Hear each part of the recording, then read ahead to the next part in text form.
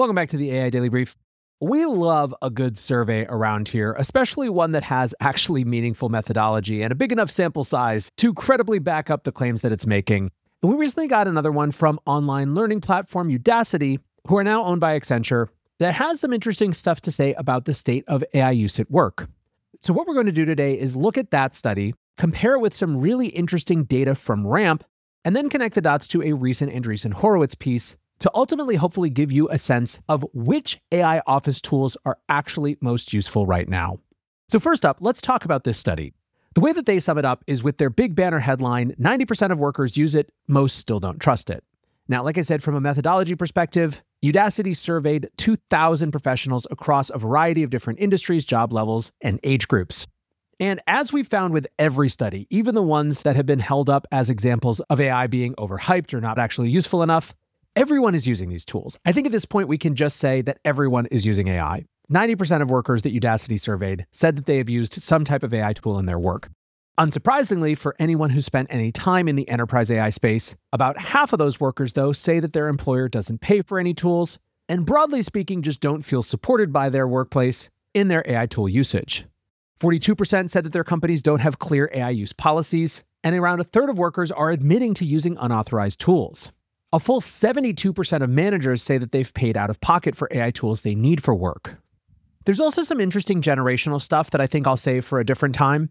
The way that they sum it up is that Gen Z feels most comfortable with how AI may impact their careers, but they're also most critical of others who use it, with the speculation being that perhaps they just have the most clear eyed view of how disruptive and important simultaneously AI is going to be, but the thing that I wanted to focus on for the sake of this larger discussion and getting to this A16Z survey of which tools are actually performant is this number right here. According to the Udacity study, three in four workers regularly abandon AI tools mid task, most commonly because their outputs lack accuracy or quality. Going further on this trust question, 45% of respondents said that they don't trust the quality of a colleague's deliverable if they know it was created with the help of AI. More than a third think less positively of colleagues who regularly use AI at work, and 36% would rather colleagues avoid AI use in their deliverables altogether. Udacity sums this up as trust being a major barrier. And what was really interesting to me is that this isn't the only place we've seen this idea of trust being a barrier show up recently.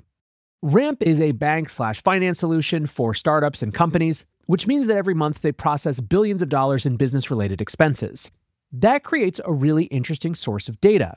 And each month, they actually rank the vendors that their customers are purchasing from to help people understand what are the emerging trends in what tools people are using, which companies seem to be penetrating the enterprise mainstream, and so on and so forth.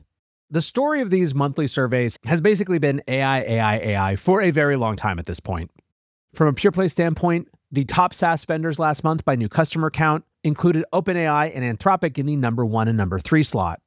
But what gets more interesting is in the fastest growing vendor category. Here's how Ara Kharazian, an economist at Ramp Economics Lab, explained this on Twitter. He writes Execs at large companies have told us the inability to trust AI is holding back adoption. So it makes sense that two of the fastest growing vendors on Ramp are AI that's more trustworthy and reliable for enterprise use. So they're pointing down into that fastest growing category. And the two that they're looking at are the number two slot on overall new customer growth which is called Augment Code, and the number three on new overall spend growth, which is Brain Trust.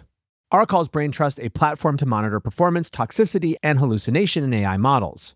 Braintrust calls themselves the evals and observability platform for building reliable AI agents. So basically, what you have here is infrastructure that surrounds AI and agents to make it more trustworthy, to hopefully improve its results. And that's the number three fastest growing vendor when it comes to new spend. Augment Code he describes as an AI coding platform that can work with enterprise scale large code bases. And it's clear where they're trying to differentiate from some of the other agentic coding platforms is around the things that are going to matter for an enterprise use case. So take this together, and we've got a survey saying that trust is a big issue. We've got vendors that deal with trust showing up in the enterprise data, meaning that this is a problem that people are trying to solve. Which brings us to this post from A16Z that's all about which AI office tools actually work. The thrust of the piece is basically A, there are a ton of tools. B, not all of them are great. So C, here are the ones that actually work and for what.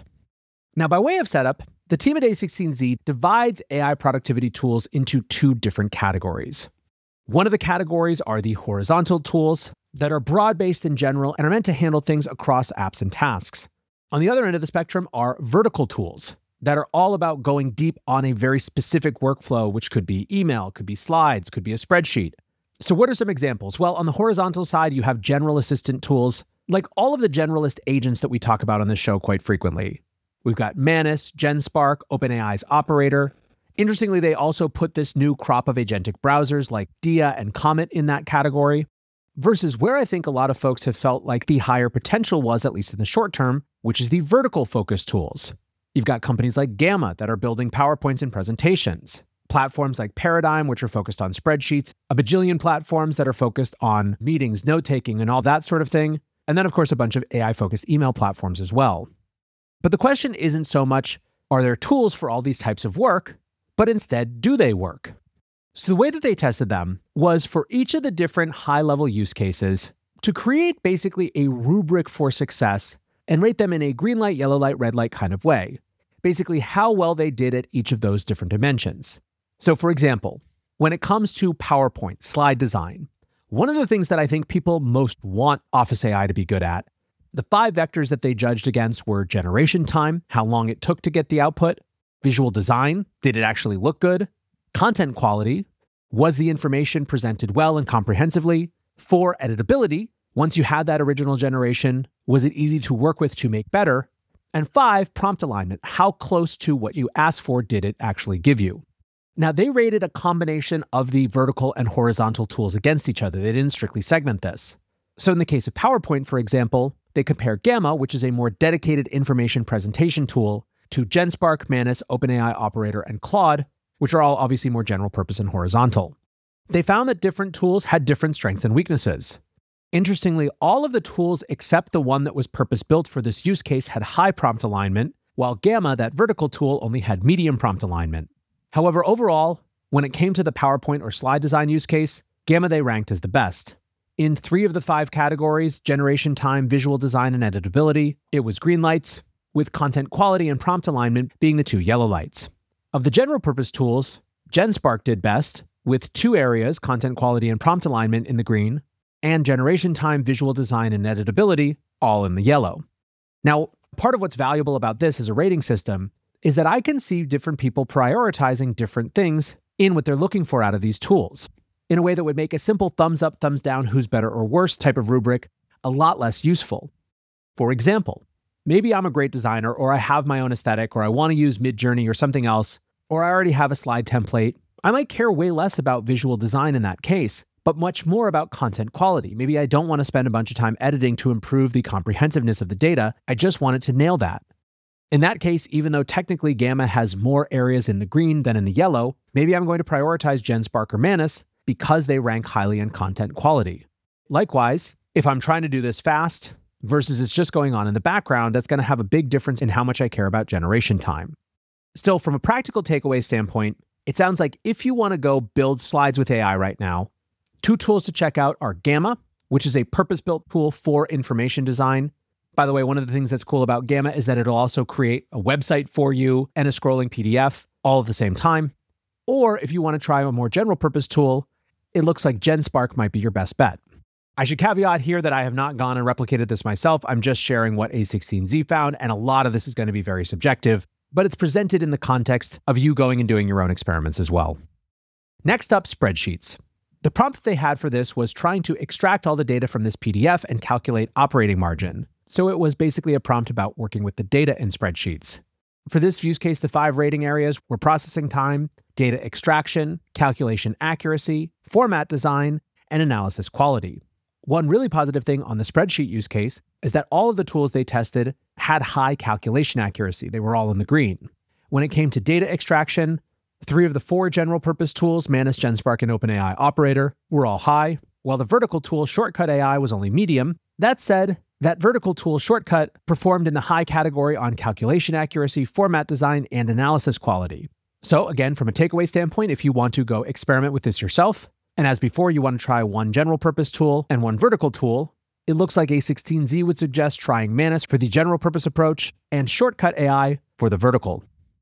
For use case number three, email, the tools that they're looking at are basically assistants that are embedded in email.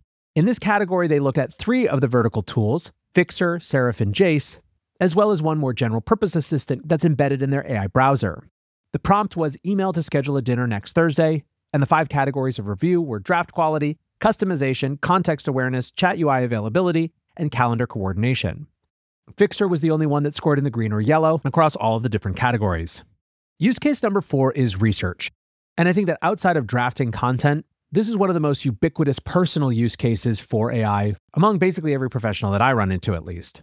The prompt was to summarize and compare the latest quarterly cloud revenue growth from Microsoft, Amazon, and Google in a table with sources, then analyze the drivers behind the results in a short report.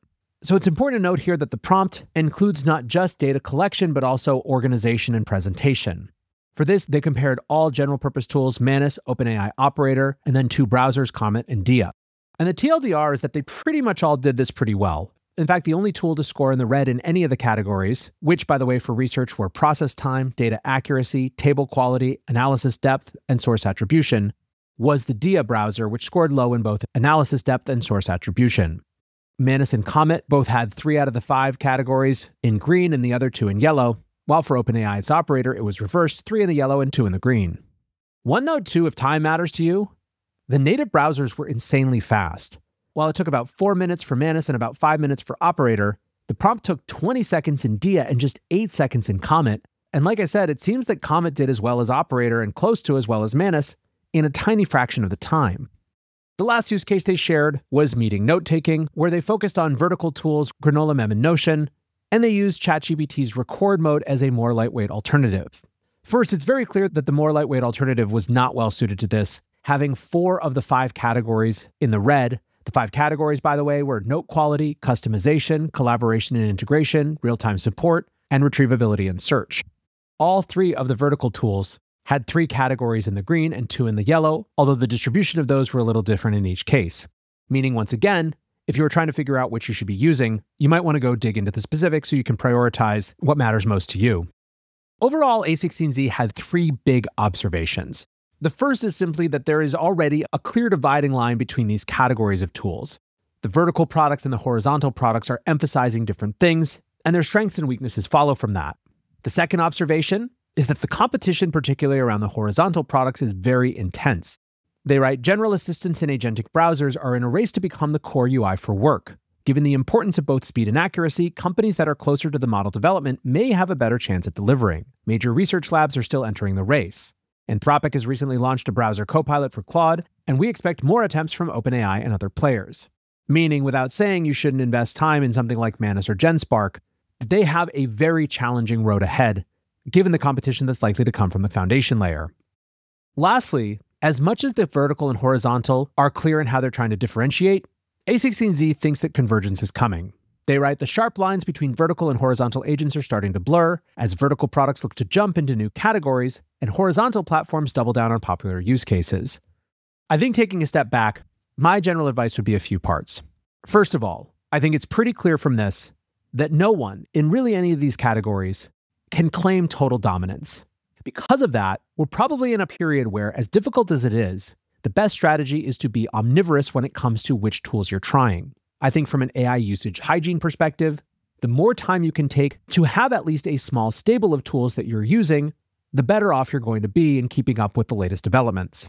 The second thing that comes from that, though, and this one is maybe a little bit relieving, is that it feels like the performance is close enough in a lot of these categories that it may make more sense to invest in figuring out how to really get the most out of the tool that you're already working in rather than trying to jump around wildly. For example, if you are a Manus or a GenSpark partisan, I'm not sure that anything in these tests, at least, suggests that you need to jump ship to go to the other area. And probably your time is better spent on figuring out how to work with the particular foibles and strengths of the tool that you are already engaged with. Lastly, I think it's probably going to be important not to get too attached to any particular tool.